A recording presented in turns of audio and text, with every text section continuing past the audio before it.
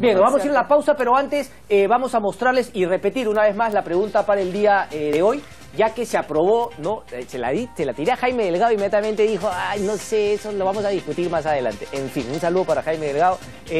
¿Y los congresistas qué? ¿También deberían prohibirse su reelección inmediata o no? Hay una, un tuit del congresista Carlos Tubino, que le mandamos un saludo también a Luis Taís, dijo, los mejores congresistas son los reelectos. Sería un caos el Congreso sin ellos. En el Perú solo se reeligen 12%. A buen entendedor, pocas palabras, el señor Tubino no estaría. Además, ojo que yo le he soltado para, no porque esté a favor de la no reelección de congresistas, sino para hacer entender un poquito mi punto de vista, que si no es integral, no hay reforma, punto por punto, no cambiamos nada, nada va a mejorar. Hacemos la